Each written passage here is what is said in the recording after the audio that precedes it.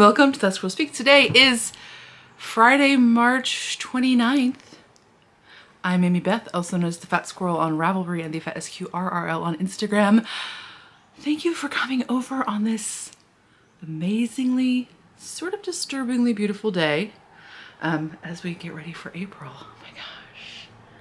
How are you? There, um, okay, so get a snack. There's chicken salad in the refrigerator. I'm not gonna lie, it's really good. Uh, I am heavy on a grape in a chicken salad, just forewarning you. It is like at least 20% grapes. I don't know why. It's just, it's just who I am. I never had, we never had chicken salad when I was a kid. Ever. Like I did not have chicken salad until I was an adult. And now I love it. Such a delicious option. Okay, so today we have, so we have things to talk about. Um, we're upstairs because light and things and times and things that you don't care about, but just FYI in case you do. Uh, this week's episode is going to have shameless self-promotion. It might have shenanigans. It will have knitting. It will have quilting. I'm just looking at the piles that currently surround me. And it might have some reading. Um, it doesn't, oh, it has, it has some stitching. This is how insane it is. I brought everything upstairs and I tried to do it all in one trip because I'm insane. Um, it did not work. we'll see what happens. Okay. Um, but let's get into it. So let's just go right into shameless self-promotion. April 1st, fatsquirrelfibers.com. Um, I'm gonna have a spring cleaning sale. So this is where I'm gonna use up sort of like, like these are gonna be mostly lower quantities. There are a few that are greater quantities. Um, but these are kind of just like leftover bits and bobs from either pre-orders where I had extras, um, or it might be like things that I miscut originally, like where I offered things in a large wedge, but I miscut them. And so now they'll be like a small wedge, like at the time I just couldn't deal. uh, it's really sad when you miscut the, the, the Spoonflower fabrics. It, it does cause a lot of like, Um, so yeah, let's just like, get right into it and let's discuss what's happening. Um, so these are ones you've all seen before, but we have mushroom butts, we have carrot butts, and we have butterflies. These all have unbleached cotton linings. We have bless your heart. There are good quantities of bless your heart, okay, and butterfly and uh, mushroom butts. And we have a few of the most recent pre-order where I did the cuppas that went with the frogs and the quilties. Right. Okay, so those are all sock sizes. And then in like these small wedge, which is one I have not done forever, but okay, so I'll explain it with this one. I didn't bring my project bag. I was using a project bag that I made probably eight years ago, and it's out of these um, beautiful ruby star linen cotton canvases. They're a lighter weight cotton canvas, so they don't have as much body as like the spoonflower denim that I usually use. And so I have kind of like gone back and forth of like, nat normally I would interface them, but when you interface them, you use you lose like a lot of like the beauty of the fabric. Um, of this specific kind of fabric. So I decided I'm gonna do some of these um, in a small wedge. And so I have a good quantity of these, which are these like fun, like very printmakerly. We've got like good ochre and fun aqua. Right. And this is a perfect size for like a two skein project. Um, it's just, basically they're the same depth as my large wedge. They're just slightly narrower. They're a couple inches like narrower this way. Um, so yeah, I don't know. I don't see. We'll see if you like them, but I just love this fabric, and I have some more of these canvases that I have sort of been hoarding, but then also sitting on because I've been hesitant to use them in a way that I normally would. Um, for larger bags, I do feel like they need a little bit more body. Um, so yeah, we'll see. But I love them so much. They have such a good hand, and like also just like this nice sort of like sort of nubbly, sort of rustic texture that's just so pretty. Um, so yeah, so there are these, and then these are the, oh, that's the only of this kind of fabric that I have in this one. But then I also have, oh, and there's going to be some that I don't show you because I just have like one or two of them. Right. So I had some cats and house coats. So this is a pre-order I did a while back, but I had this strip that I had cut too narrow. Um, and this is a linen cotton canvas. And isn't it just the cutest? So there'll be some of those. And then in my more traditional large wedge size, I have some library bags. Okay. So there'll be libraries in some large wedge, and there'll also be a sweater size, a couple sweater sizes. Um, I have this super fun bunny ice cream cart. That's so cute. I have these amazing, and I have both of these also in my Aran size. They're just a few of the bigger Aran size, but these also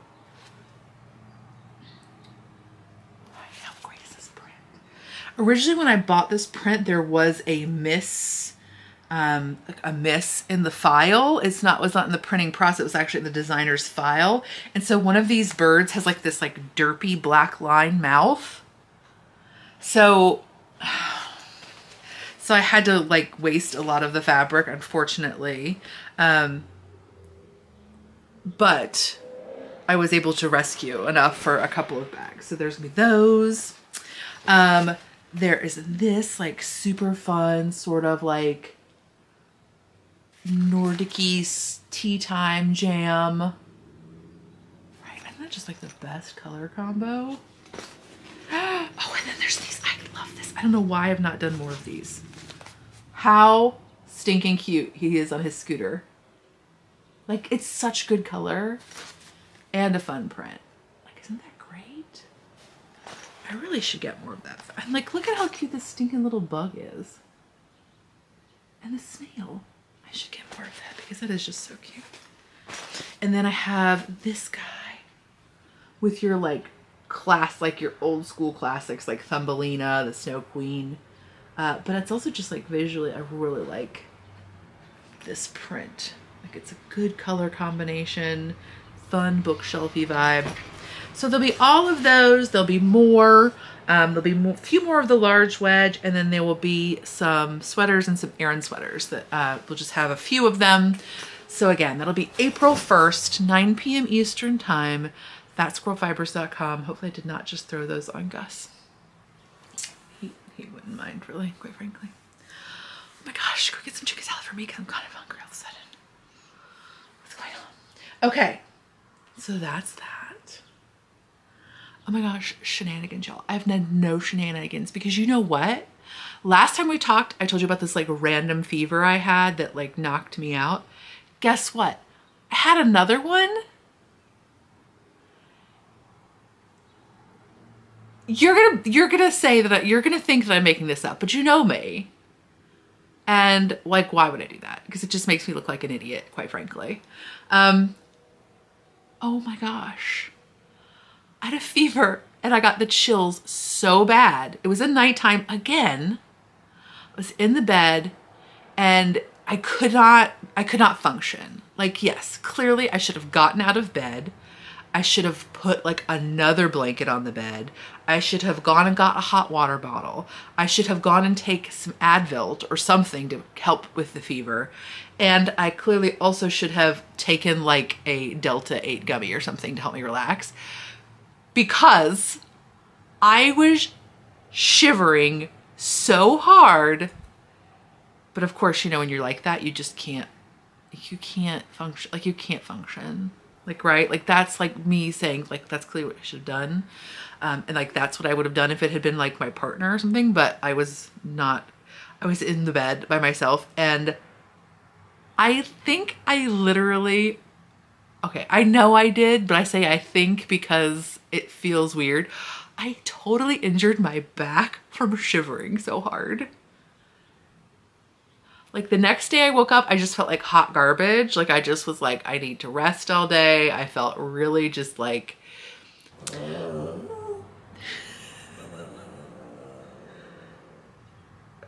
Gus has seen a squirrel in the tree. He's displeased. I think that's what it is. I don't have my glasses on, so I have no idea. It could be a badger. It's possible. I may have injured my back from a fever. It could be a badger. I don't know what's going on anymore. What kind of like weird Alice in Wonderland am I living in? It's not wonderful. oh my gosh, though.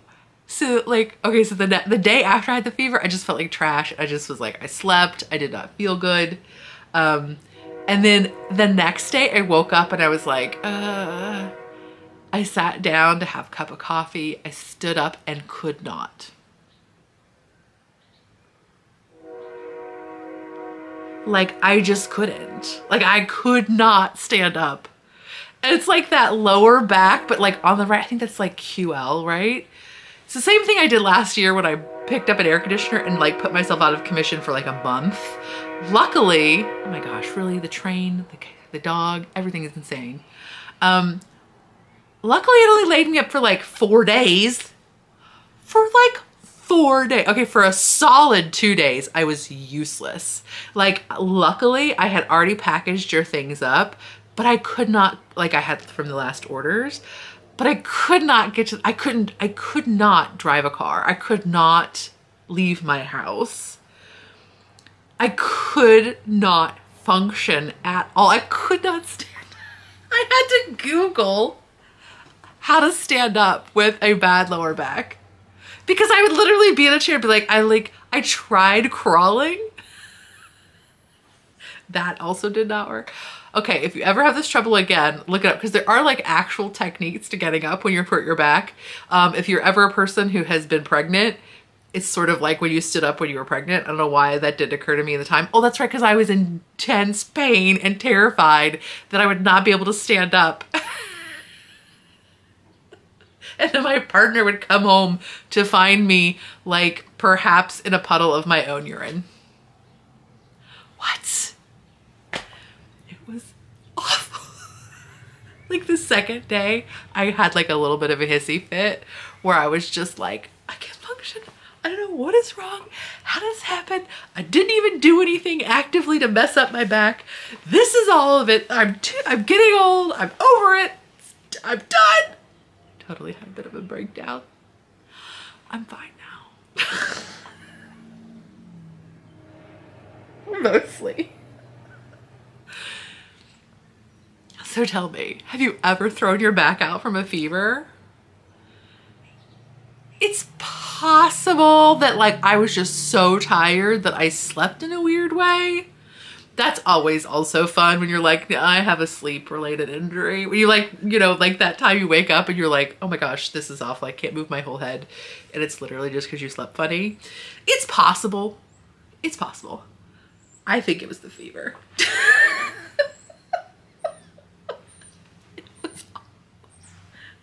So I have no shenanigans. I've been like sitting around like planning garden stuff. Luckily I, oh, did I get that done? Yeah, I got the, I got my seeds done be right before I hurt my back. In fact, it was literally Sunday, the night that I got the fever. Um, so my seedlings are started. I'm a little bit nervous about them. They're not coming up as much as I would like them to. A little bit nervous. Maybe I didn't get them watered enough because I was unable to get out of a chair. We'll see. We'll see how they go. But I've been deep in like, what can I do to the garden? I've been really like, let's spend $12,000 on the garden so that we can grow like $17 worth of veg. That's where my brain has been. Like yesterday, I got so obsessed with potatoes I got so obsessed. I've grown potatoes before and they are really fun to grow. Um, but I did not plan on growing them this year uh, because they do require, like I just have very limited space. And so like I had already planned what I was growing and knew that I was pretty much maxed out on space. But then I was suddenly like, I, ha I, ha I have to grow potatoes. Like like the police are gonna come and get me if I don't grow potatoes. Like that's really not what I thought, but like that's the urgency I felt. in my, oh my gosh, why am I not growing? Why have I not planned to grow potatoes? Did I spend like way too long on Fedco's website looking at all the potatoes that I needed to grow? And then the fact that they had like a $75 shipping fee. Yes, I did. It wasn't $75, but it was like a good 80% of the potato price was the shipping price. And I was just like, then I was like calculating like, okay, if I grow them in grow bags and then how many cubic yards of soil would I need? And then like, how would I store the cubic yards of soil? Because when you grow potatoes in grow bags, you only put a little bit of soil in at a time and then you're like constantly hilling them up. So like somehow I have to like also store this like cubic yard of soil that I'm gonna get in my like 600 square foot backyard. I don't know if that's the number, I'm making it up. In my urban backyard.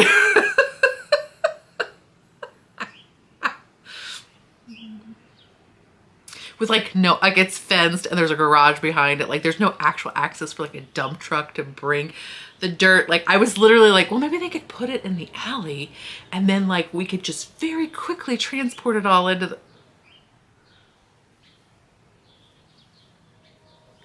like a whole whole day of like, well, what maybe should you, should I get the coconut coir to help with the moisture retention if I do grow them in grow bags?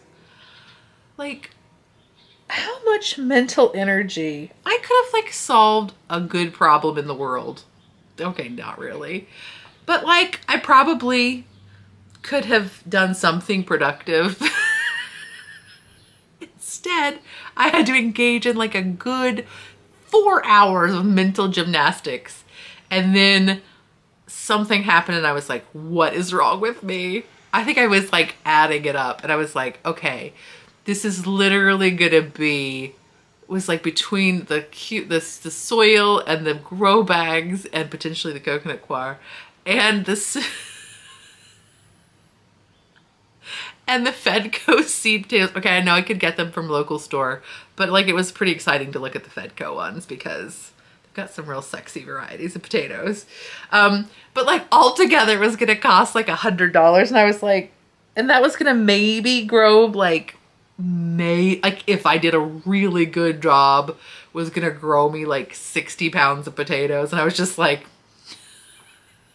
now granted the dirt and the grow bags would be like a thing that could happen, like could continue on in my gardening life. What is wrong with me? what is wrong with me? Anyway, seed potato show. Oh my goodness, I'm so hungry all of a sudden. Now talking about potatoes and all I can think about is all the potato descriptions from Fedco. Y'all, are you interested in, in potatoes, seed potatoes at all? You have to go look at fedcoseeds.com. They're not even like super fancy varieties. Like there are plenty of places that have like very exotic potato varieties. But this company I think is in Maine. It's very New Englandy. I want to say it's in Maine because I feel like I did look at the shop at the shipping prices if you picked up locally. I knew I wasn't going to go to Maine to pick these up or anywhere in New England, but I was just curious, you know, just curious. Um, like clearly it's like us in the Midwest, we just need to get in and next year we could get like a, a freight shipment. What is wrong with me? So many things. So, oh my god, my cart's still saved. Like I'm not buying it. Uh, but, but these are the these are the varieties that I decided on. I'm not buying them. Um, I decided on German butterballs. They only had organic left, which are quite pricey. But let me just discuss. With flesh just dry enough for a fry or a hash, the butterball has high yields, good storage qualities, and shows some virus and scab resistant, susceptible to rhizoctonia large prostrate vines with few white flowers. These plants produce delectable buttery balls that are hands down the best tasting roasting, roasting potato in the winter. Is it? Maybe it is, and I've never even tasted it. Purple Viking. Oh my gosh, you guys, look at how fun this potato looks.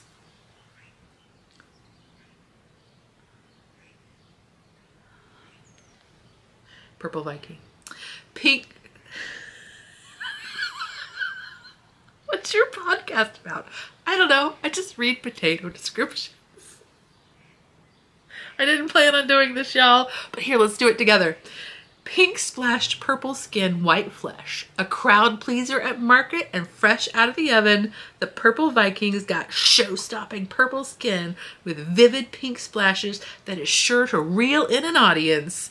I'm reeled in. Its creamy, rich flesh, when baked, roasted, or mashed, will keep keep the everyone happy. Okay, slight typo. Uh, for size, style, style. I want a potato with style. For size, style, yield, and taste, it's an all-around winner. Vikings grow on the large, knobby side, so if you want smaller, no, I don't. More uniform potatoes. Plant closer than 10 inches apart, shows some resistance to leaf hoppers. I don't even know what leaf hoppers are, but I might have them. I might need these potatoes. We have no suitable substitutions for this unusual variety. Even if you accept substitutions, you will receive a refund instead of potatoes if this variety is stock. Those were the two that I was most excited about. But I also added in Katahdin because it felt like it was maybe like like a good like count, like a good like plainer potato. I don't know how jazzy these red Vikings are buff skin, white fleshed, released in 1932 by the USDA and Maine. Also because it's from Maine and Katahdin is like the end point of the Appalachian Trail. They got me on all these levels. It is the standard to which all storage potatoes are compared. Mount Katahdin, Maine's tallest peak at 5,267 feet, is famous for its vertigo inducing knife edge trail. Katahdin means the greatest mountain in, in the Penobscot language. Whether you're hungry from hiking or gardening, set a kitchen knife's edge to Katahdin, the potato, and fill your belly with its warm, comforting goodness. you were wondering where that knife's edge thing was going, or didn't you were wondering. I felt you wonder. They brought you back. whether you're I'm just gonna read it again. let's let's do it all because I'm really prepared for the narrative journey we were taking. Mount Katahdin, Maine's tallest peak at 5,267 feet, is famous for its vertigo-inducing knife-edge trail. Katahdin means the greatest mountain in the Penobscot language. Whether you're hungry from hiking or gardening, Set a kitchen knife's edge to Katahdin the potato and fill your belly with its warm, comforting goodness. This might be the best podcast I've ever done. Very well suited to a Maine growing season, spreading plants can produce some lunkers. The tubers lean toward the soil's surface, so heal well. Resistant to mild mosaic, but not spindle tuber, leaf roll, or scab. Medium to large spreading plant with many large, light purple flowers.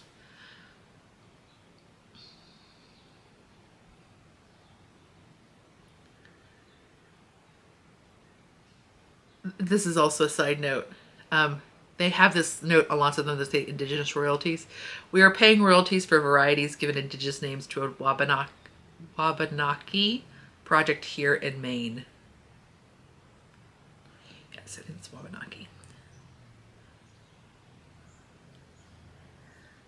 For only $20, you can get 10 pounds of the Katahdin potatoes, and then that could potentially like yield you 100 pounds of potatoes.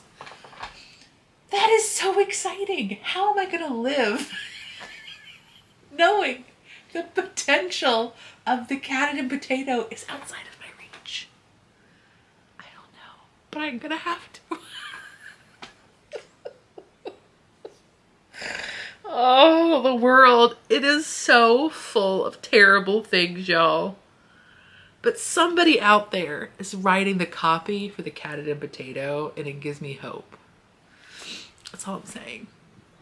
I should just stop the podcast now. What, what am I even doing? The rest of this is nonsense. That's amazing. Okay. Let's talk about quilting. So last time I showed you um, my little like hand quilting project. So here she is. She's all pillowed up. Here's the back of it, which I just machine quilted. Um, I'm very pleased. I put just a zipper in the bottom. So there's just like a plain old pillow form in there. What did I do? Oh, I just zigzagged the edges so that I could wash it, hopefully without it fraying out too badly. Um, but yeah, she can go this way. She can go this way. Okay, I know it's like very poor choice for color. but I did it and it's a thing. So then I just started on, I think I showed you, right? My little like carpet bag project. So I pieced this one originally to take with me to my class, but then I chickened out because I was afraid it was too busy and it might be a bad idea, which I think I made a good decision. Um, but here's my girl so far. So now I'm deciding if I want to do, originally I thought I would do like a different quilt design on each like kind of like section. And so I'm still, I think that's what I'm going to do.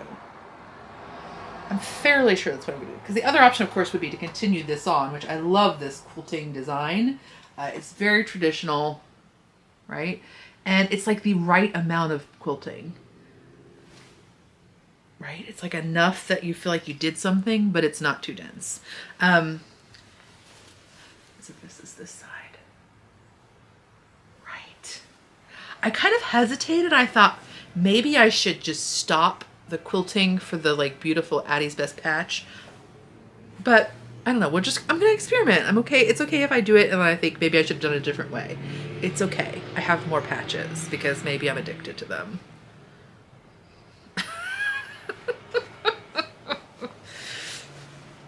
So there's that.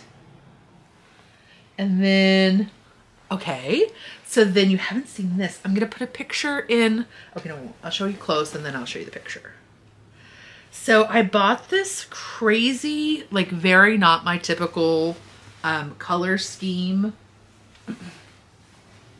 fat quarter bundle from Penelope's, Penelope Handmade Studio. So I'll put a picture in here.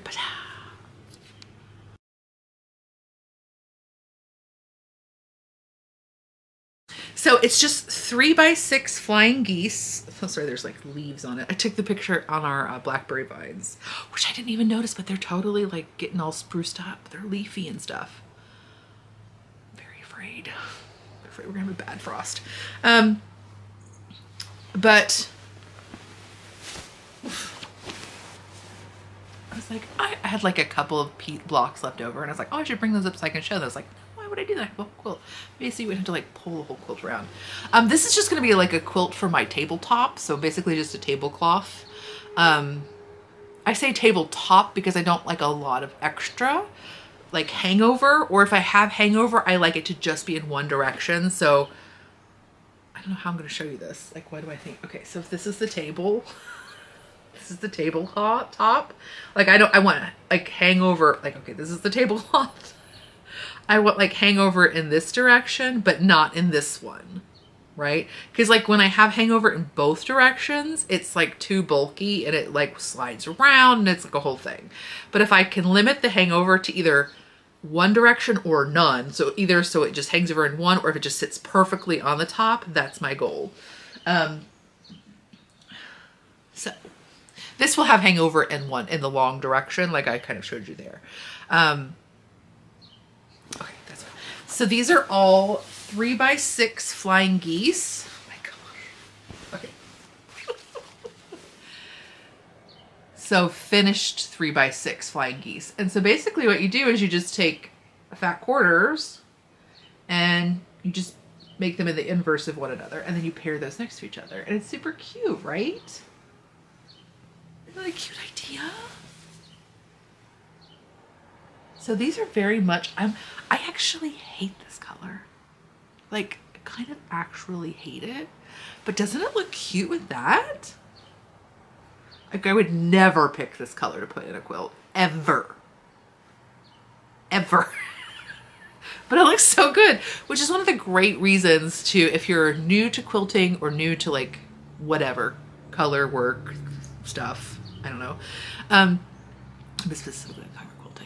Uh, it's a great idea to look for curated fat quarter bundles because these are folks who have fabric shops or mostly they're people who have fabric shops, even if it's just like an online only shop.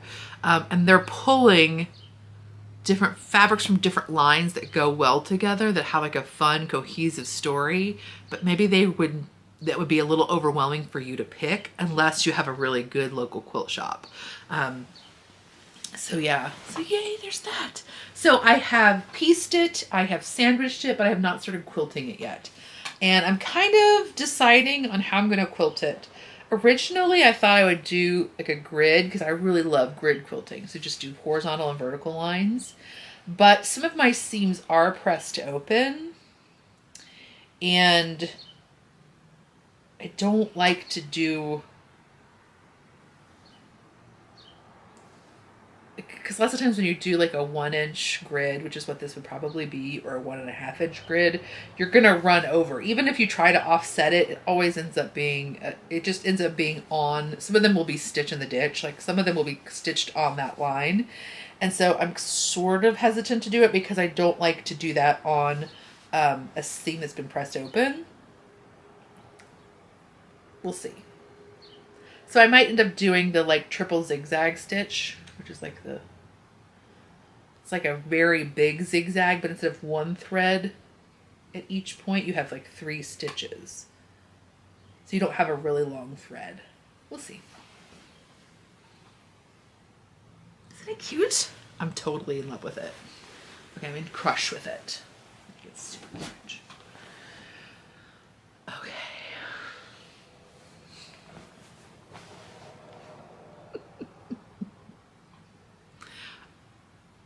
That's all the quilting. Okay, and then in embroidery and stitching, I have some more eggs. Uh, I showed you last time. That I was stitching these little eggs and I have some more that I have not finished. So, but I have gotten them to the like ready to stitch and stuff stage. So I'll just briefly show you, but like how cute.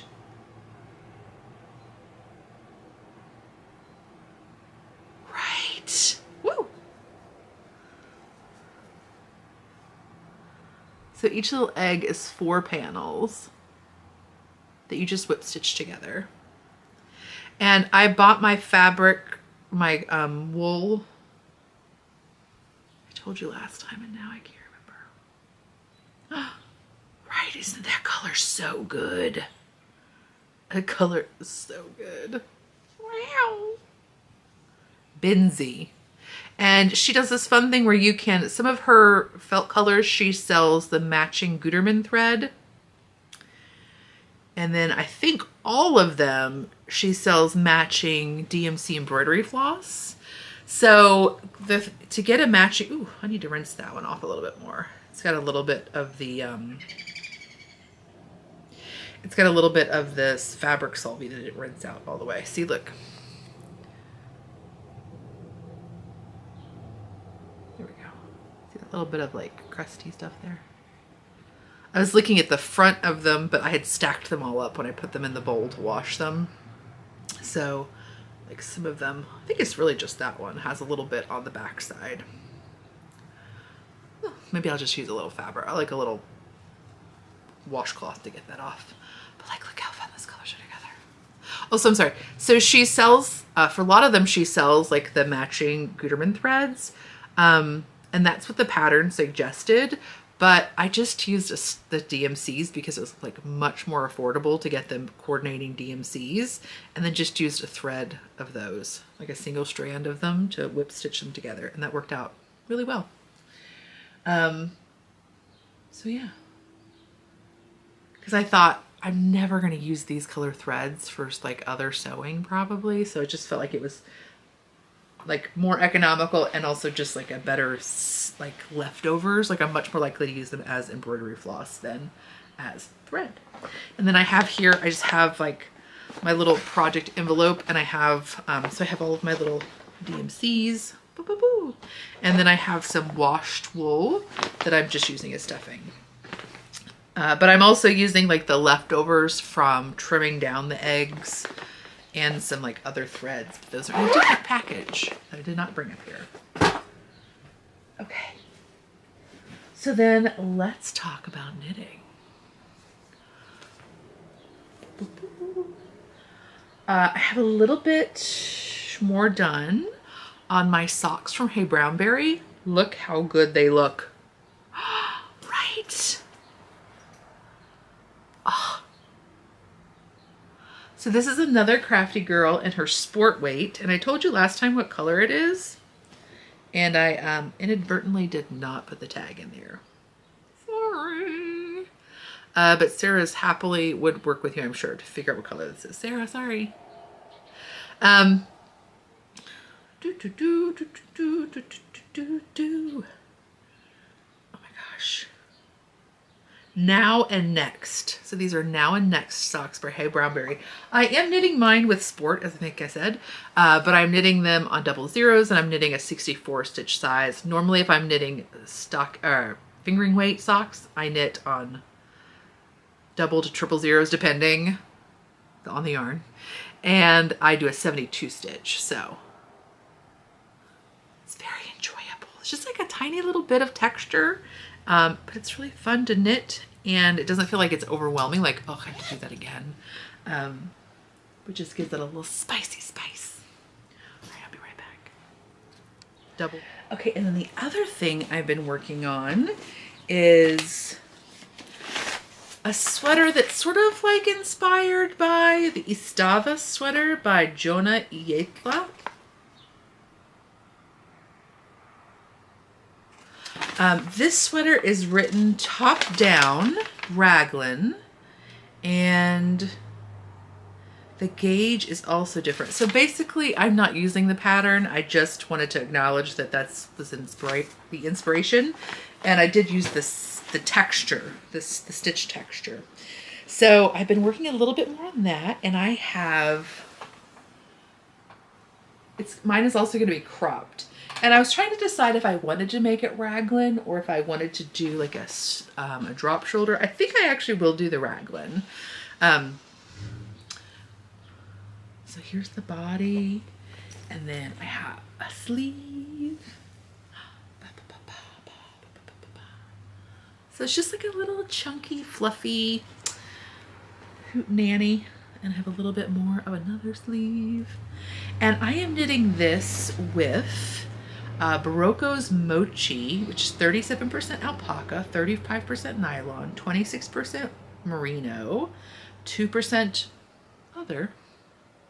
I don't see that very often. 2% other. And uh, I'm holding it double. So I'm actually knitting this on US 8s. Yeah. So it's like super fluffy. I got this on a deep discount from Webs, which is yarn.com. And I love these uh, tube blown yarns. So it's just like a sort of like a, um, an I-cord that's knit and then fiber is blown into the I-cord or like the chainette structure. Uh, and they're super fun. They're very lightweight. This I think is a worsted weight yarn. I could be wrong. Um, but you get 191 yards or 175 meters for 50 grams, which is like a lot of yardage um, for a bigger circumference yarn. Anyway, so it's probably quite warm, but I really just love how fluffy it looks. It has like such a great, and it still feels very lightweight for such a thick sweater. Um, one of the reasons I don't knit a lot of bulky sweaters for myself, there's multiple reasons. One of them is I'm often quite warm. Um, but another is that uh, for my size, like it just takes more yarn. So the sweater itself is heavier and like that makes it a little bit more unwieldy, not just to wear and to launder and things like that, but also like wants to stretch out more. It's a little bit harder to predict what it's gonna how it's going to behave throughout its day. Um, and especially like a yarn like this, it's not 100% wool. It's a little bit like, how's that going to work? So it's nice to have um, a lighter weight option. Okay. And then something you haven't seen is I had this combination of yarns that I started a project last year that I was super excited about. It was this like super crazy crocheted sweater, which was, I mean, I say super crazy, but it was actually super crazy. Uh, it was like this like net almost, but it was like with three different yarns. And it was so cool. But I started it and I could not make my gauges work out. Um, because of course I could not use the yarn that was suggested. Let's not be silly. In my defense, it was like a lot of quite spendy yarn. Um, it was like on all La Bien Aimée and like multiple strands and multiple different kinds. It was just like, okay, that's out of my, that's out of my league. Okay. But because of that, I had this like great and fun combination of yarns that I had pulled from Stash. This was like one I had bought uh, in addition. I have no idea who made this, by the way. Sorry. Uh, I had this like finger, this lace weight Voliere from Knit Picks, which is this 30% silk, 40% linen, 30% baby alpaca. It's really fun yarn that I don't know. I had this um, one more round that felt like it wanted to be in there. I had maybe this um, Beaver Slide Dry Goods in Vernal Glow. And then this handspun, right? Like, doesn't that want to be a thing? But then it couldn't be the thing. so I had like created this like fun collage of yarns that I was like really excited to work with and then that just kind of like fell flat. So I sat, I put it away of course and sat on it for quite some time and I went back and forth and back and forth and back and forth. I was like, I need to make a sweater vest with it. But then I was like, you know, I love the thought of that. Will I actually wear it? Maybe. Do I want to do it horizontal stripes? Do I want to try to knit it side to side? I couldn't find a pattern that really like gave me what I wanted. So I was like, okay, I'm not afraid to like go out on my own, but also maybe I don't have the headspace. Like again, going back and forth and back and forth. Well, finally I decided I went and had, I went and had coffee. Um, a while back with Midtown Knitter. We were discussing the Gabor Mate um,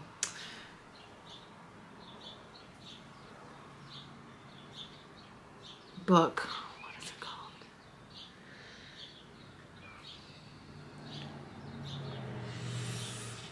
Something about normal. I'm sorry, I can't think. A anyway, um, and she was knitting on the Drea Renee Traveler shawl, I think. I forgot to ask her, but I'm pretty sure that's what it was. So I thought, you know what? That looks so great in hand spun. It's big enough that I can probably work in most of these yarns in one way or the other.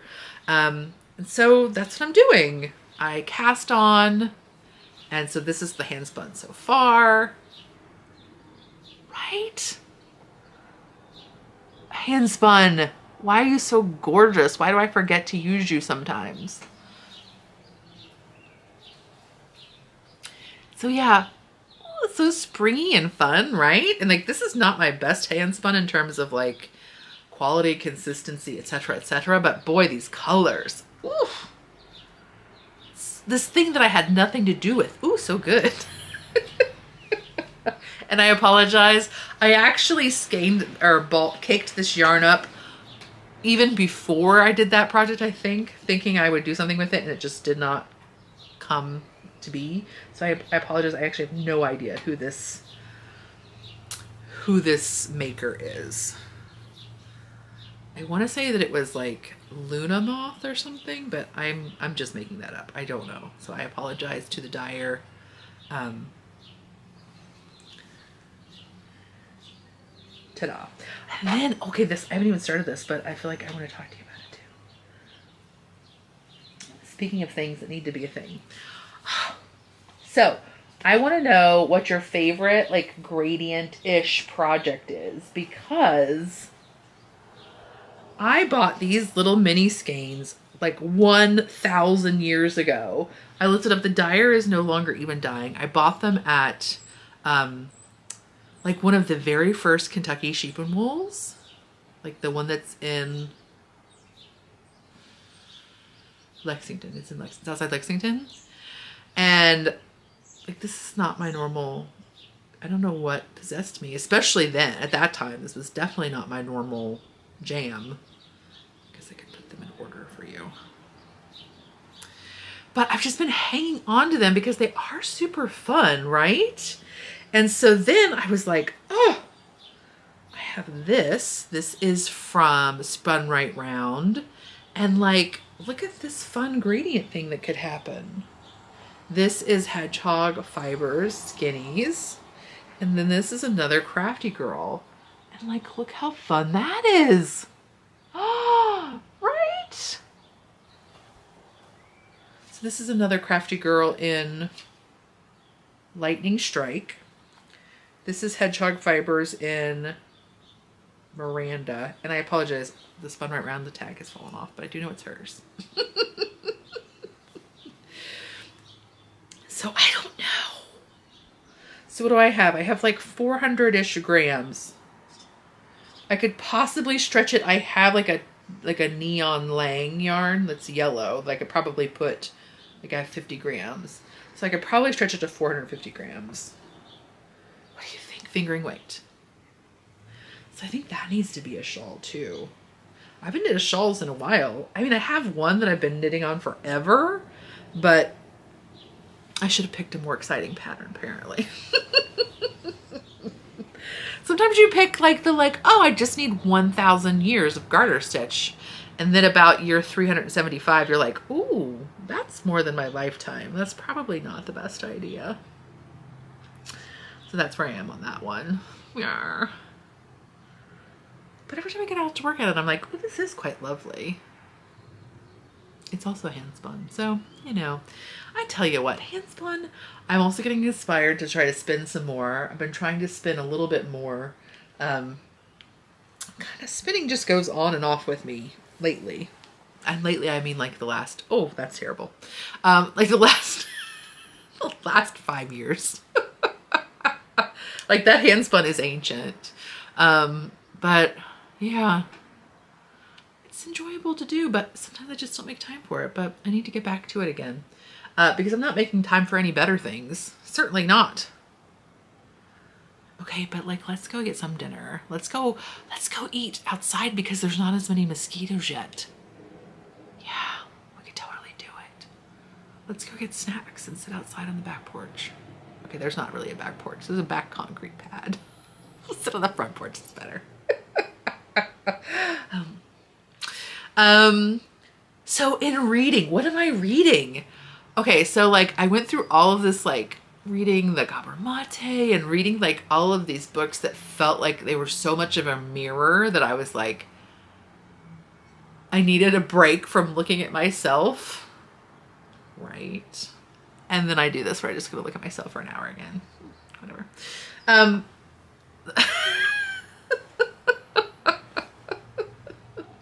um, so anyway, so I had this like deep, like I have got to get, like I cannot think about my own self or like my place in this world or like potential trauma that I need to heal or like I can't look for any more uh I can't look for any more psilocybin retreats. I gotta look for potatoes, um, that kind of thing. You know, like how you do. so my solution to that is to um, go the complete opposite direction and instead of like in, in like insightful memoirs that are to make me think about myself or like social commentaries or like deep books about like how we support trauma in the United States and the North American or like and like how we need to work on that so much for our own health and for the health of our future generations. Like, what do we do? Let's just read a bunch of true crime and histories of things. That's like a good antidote, right? So let me just discuss. That's all I've been reading. so I am reading The Barn Oh my gosh, by the way, what is up with that book? It's so delicious. It's a book. Okay, let me just. The Barn. Uh, the Lives, Landscape, and Lost Ways of an Old Yorkshire Farm by Sa- Sally Coulthard. I told my husband I was reading a book about a barn, and he was just like, I was like, I know it sounds wrong, but like again, so many histories of things. Like again, the book of the book Salt. Um, fascinating. I love to look at history through things uh, because it allows, again, allows the author to tie in so many disparate topics that it's fascinating. Like the, again, the barn. We're we're tying everything from like medieval um, farming practices in England all the way through like Georgian architecture to like industrial revolution and the dietary habits of the city folk versus the country folk. We're tying in child labor. We're tying in uh, invention of commercial industrial uh, fertilizers. We're talking about the bone trade, about like how England like figured out bone meal was like an, an uh, a soil amendment that could help with fertilization like with uh, crop yield and things like that and how like that spurred this like insane like boom in bones and like they were importing bones from other countries and the fact that like there are all these like that's not actually in this book that was in um oh the book about the uh, shipwreck that's so popular as of recently um the wager a Tale of Shipwreck, Mutiny, and Murder by David Grann. I don't know why I never wondered like why all those like little uninhabited islands in the Pacific were like claimed. It's because they had guano on them. And guano was like this amazing fertilizer. I just kind of like abstractly was like, oh yeah, probably like just for like military strategy or whatever. It was for poop. They literally, and then there was like this whole other very dark side of it about how they got the poop and like how many enslaved people um, were like Pacific Islander enslaved people were used to harvest the guano. I had no idea. Like zero. Like that would have been not on the list of ideas about why these like very small uninhabited islands were claimed by colonial superpowers. I didn't know. Also, if you're interested, the, the wager, fascinating. A tale of shipwreck, mutiny, murder. Scurvy, dude. Scurvy. Can you imagine? Can you imagine? You're on a ship. You're months away from home. You're in a place you have no understanding of. You're trying to like go across the Cape uh, on under South America. You don't have any idea what to expect. And then like everybody is dying. Like everybody on your ship is dying. And like they're dying in these like really crazy gruesome ways cuz like the thing about scurvy is it's so bizarre. But like all of these like if you were shot 20 years ago, like your scar tissue just dissolves? I don't even understand. But suddenly like old bones that have been broken years and years and years ago, they re-break. Like I don't even know that that's really what you call it, re-breaking, because it's not like you have an injury and they break. They literally just like spontaneously dissolve the the scar tissue that mended them to get. It's not spontaneous. It's because you don't have any vitamin C. But like, can you imagine? I cannot imagine. I cannot imagine. Like, and like a lot of these people that were on this ship were literally just like kidnapped. They would just like go down, like, because nobody wanted to go on these expeditions.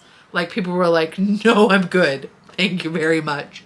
And like the English would just like go down to the like into the poor neighborhoods and just like kidnap people and then like force them onto these ships to go on these months long journeys and then like you're all dying.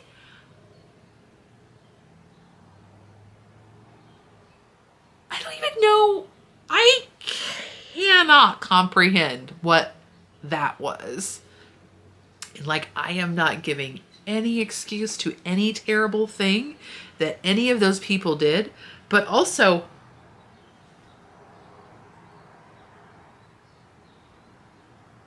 like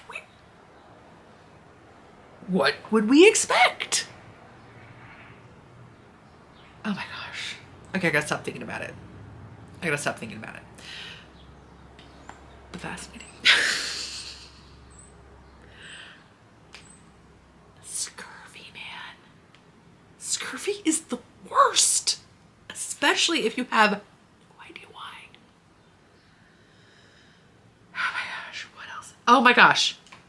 Abandoned Prayers, the incredible true story of murder, obsession, and Amish secrets by Gregg Olsen. This book is terrible, and I read every word of it. this book I don't know. I have now read three or four things by Gregg Olsen. I do not care for his writing. And yet I have read three or four things by Gregg Olsen. I don't know. True crime. Like the only thing I can think of. So this is the story of an a formerly Amish man who probably killed his Amish wife in a barn fire or like used a barn fire to somehow cover for it. Uh, stole essentially money by selling his Amish farm that like should have really stayed in the community, but like, because maybe he only got married to get this farm. Uh, then went on like a strange voyage through America that you could only do in the 80s like like um meeting men through advocate remember the advocate? Right flashbacks. Through the personals like the gay personals and the advocate like cross country and like just showing up in random places and like starting lives there and then like causing chaos probably killing people and then moving on and then just like leaving your son places and then unfortunately probably uh, definitely killing your son. Like the most convoluted narrative. Like this narrative this okay so the only thing i can think of like i kept thinking who is the editor of this book? Like again i have written zero books. I've written zero books but I kept being like, who is the editor of this book? Because I do not think they exist. But then it occurred to me this is written in 1990 and it is like very extensively researched. Like clearly this person spent a, the author or somebody spent a very long time like curating all of this research. And so I'm sure part of it was just like and it has sort of like a very like old gumshoe reporter like just the facts ma'am kind of feeling. Like there is very little analysis. Like there are so many questions left unanswered. And like yes there probably are no answers to the questions but like there's not even like postulated answers to the questions. It's just like yeah like i don't even know that the questions are asked. Like i am asking the questions because i'm just like wait what? And then I'm like, did he answer this in this book? Or did I just get confused because this narrative is insane? And like every small detail that this person that the researchers found or researcher i don't know this gregg olsen's i don't know if he's like a if it's just him or if he's like a cadre of people out there researching. But again it was like very different to do research at that time. And so like maybe all of the research was just so hard won that it was like well no i have to put this in because i spent like way too long and like driving to idaho to find this information. Like maybe Still read every single word of it. Also, I was sick. It was when I was sick. It was when I had the fever and stuff. I just laid in bed. My back was broken. Just laid in bed. This crazy book. So, might have also been some residual fever. I'm not sure. But it was definitely just like, what's happening? It was bananas. It was terrible. It was tragic. But again, it's true crime. It's kind of the jam, right? But yeah, like this. So, what else? Oh, so then I was like, is this just because this book is old? Like, again, like part of me was like, again, was it just like a different time that, again, we don't I don't know because I'm not a connoisseur of crime of true crime. Like I've not read like mass market true crime throughout history or whatever. Um, so then I also read A Cold Dark Place by also Greg Goldsmith. That one is fiction. That one is terrible. Like it has. Did I read it all? Yes, I did. Actually, I listened to it all. Uh, it's awful. It has like terrible character development, like ridiculous. And like the plot is not even super salacious and intriguing. Like it's also sort of convoluted, but it feels very similar to Abandoned Prayers, The Incredible Story of Murder, etc., etc. I don't know, man. Is this like a like ah, he's a middle-aged white man in the 80s. Like he can just do whatever he wants. I don't know. Or again, is it just like a different time for true crime? I, I, maybe it's the same time for true crime, but that's not true because I also listened to. I mean, I've listened to other true crime that's more modern and it's definitely more cohesive. Um, I also listened to American Predator: The Hunt for the Most Meticulous Serial Killer in of the 21st Century by Maureen Callahan. That was cohesive. It was researched. It was detailed. It had unanswered questions. But it also posed those questions, I feel. Did I still read Abandoned Prayers? I sure as shootin' did. I wish it were made up. Unfortunately, it was not. Um, the Myth of Normal. That's the God but I've also been listening to Maisie Dobbs, which is um, which I found because I listened to The White Lady, which is a period mystery by Jacqueline Winspear. I really enjoyed this one, The White Lady. Um, Spycraft, Great War. I really enjoyed this one quite like that one I enjoyed quite a lot. Um, the Miss Maisie I am enjoying not quite as much, but I am excited. Uh, excuse me, the Maisie Dobbs, not Miss Maisie. The Maisie Dobbs series I am enjoying as well. Um, not quite as much though. I would say The White Lady is, if I was going to recommend one from her so far, of the four I've read, that's the favorite. But yeah. So yeah, that's what I'm reading. Ah, also bad crime, true crime. Okay, I'm just going to say it. Uh, Killers of the Flower Moon, The Osage Murders, and the Birth of the FBI by David Grann. Fascinating story. Horrifying story. Uh, it's a movie by Martin Scorsese. I don't know when that happened. I've not seen it. Um, horrifying story. Horrifying piece of American history that is not at all surprising, but is also surprising. Um, about the Osage people of Oklahoma and like fascinating just in terms of like how they're um like what they did differently in terms of like their reservation lands versus other tribal entities and then a discovery of oil on their land and like what terrible things um that that led to for them for them and their people um but but this book some people complained because I was kind of curious, like if I was the only person who was like, what is up with this book? Um, because the material is really interesting.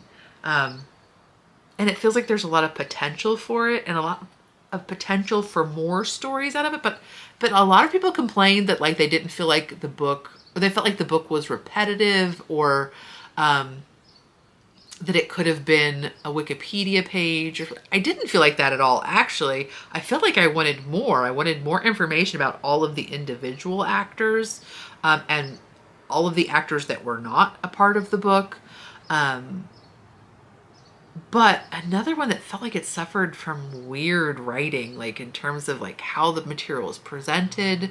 Um, some people complain that it was not as much about the formation of the FBI. I didn't care about that part, quite frankly. I mean, I cared about like what steps were taken to actually solve these murders because they because this what is it that's what it is and this like the crimes surrounding them um but yeah i definitely didn't i just felt like it was like i felt like there was so much more to the story that could have been told that was neglected but then there were also all these like weird details that like just sort of like randomly again it felt like ah, i researched this so i'm putting it in i found out this information. And like maybe it was really important to the author at one point or again like maybe it was a hard won victory to find that information but like didn't actually feel like it was a part of the narrative. Um so yeah i'm curious to see what the film is like. The only the only people that complained about it that i read that complained about it being too long and they were like talking about how uh, there was too much information about some of the women involved were men. So I'm curious to know what their motivation was for thinking there was too much information. I was like, there's not enough information about them. I want to know more. Anyway. But did I read every dang page of it? Yes, I did. Because it was very interesting, but maybe somebody should rewrite this story. Just saying. Okay, I think that's enough. Oh gosh, I'm such a mess. Oh, but then I also finished, well, I just didn't add it yet because I was like, wait, there was another history of things. My friend Linda recommended. I keep touching the same thing. I'm so sorry. Uh, my friend Linda recommended Hands of Time, A Watchmaker's History by Rebecca Struthers. Um, and that's another great one that's a good history of time. A good history of time. A good history of things. uh, she, the author, is a watchmaker and I can't remember now what she is, but she's basically like a, she studies the history of time, um, as well as timepieces. And so that one was really fun. Um, the thing that stood out to me, there were multiple things that I found interesting, but the thing that has stood out to me the most in my brain is something that she made a very flip comment about. Um, and that is that the most used noun in the English language is time. Now, that is based on, okay, sorry, let me find my little bookie book because I did write it down. Because I was like, wait, what? That doesn't even, I was like, I gotta fact check that. It's true. Um,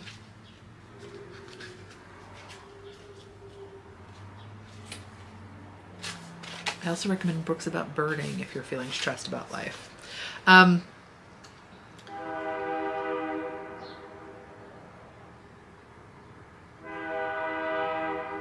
So this is the the noun thing. It's determined by the Oxford English Corpus study of all words of published text from the internet. So this is, I would be so curious to know like what the most common word, and I said, did I say English language? But I, it is just the most common noun. Um, I'm so, I'd be so curious to know what that would have been historically. Like if you look at all books, all material published pre, let's say, 1920. What is the most common word used then? Most common now. I would love to know.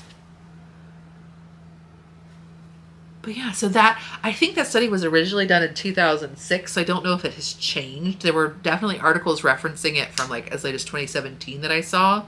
Um, but another thing that's interesting that's that's spurned off of that is that the 100 most common words make up 50% of the words studied in this like of all the internets or whatever. And that the words were studied they were like it was literally just like all of the words on the internets. So like everything from books to blog articles to emails to social media posts. So when you think about that, it does make sense because again, like like a lot of our interpersonal communications are about like what we're doing when and like meeting and things like that but it still feels like it blows my mind and i would love to know what it is like spoken word versus of course who could know. But it's definitely not the most the word i use the most but it did make me really think like ooh like how obsessed are we with like that's fa- that's kind of fascinating right? Like as a window to like what our motivations are and like what's going on with us or maybe just how we communicate in this specific way, the internets. I don't know. But other things, oh, decimal time. I've always wondered about decimal time, but I've never looked it up because I've always been like, well, if there's metrics, why never? Why did we not decide to make the, um, the like the clock into a metric? Because it's such an annoying thing to have 60 seconds and 60 minutes, but also 12 hours. It doesn't make any sense. 24 hours. it doesn't make any sense. I mean, 12 makes more sense than 24. At least it's is 60 is divisible by 12, but not 24. Anyway, so that was interesting because apparently this was something. So decimal time has been used throughout history, but one of the most recent uses of it was like post French Revolution. They tried to adopt decimal time as like a, a counter, but it only lasted a few years. But isn't that I thought that was super fun. And so then there, she also talks about like the clock as like the tool of like in, in the industrial age, like the clock as the tool to like manipulate people's time. Like that foremen would be the only people who would have enough money to have a clock or to have access to the time. And so they would like set things back and set things forward to try to like make their workers work more time so dirty. And then it was like actually like illegal for the workers to have like illegal. I don't think that's the right word, but they were like confiscate people's timepieces because they were like anti-union or whatever. So interesting.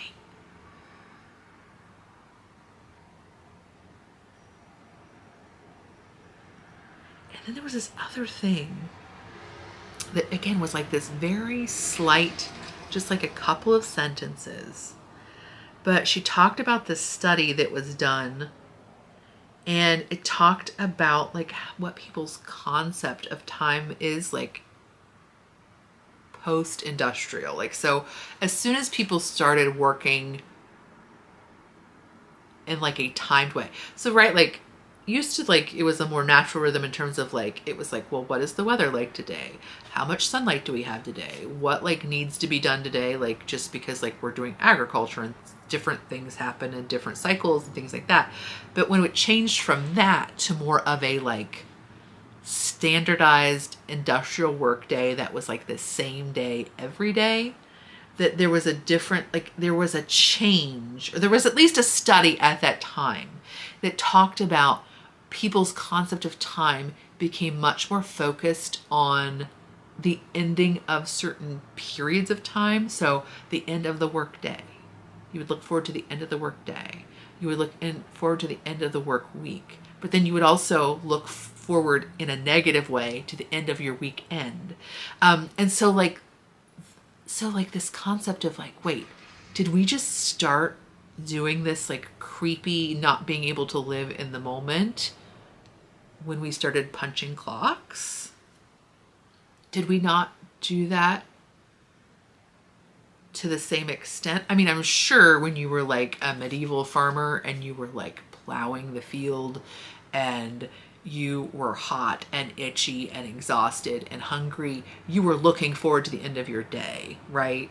But maybe that it wasn't this like constant mechanical part of your sort of every day that you were looking forward to this specific time that was ahead of where you currently were.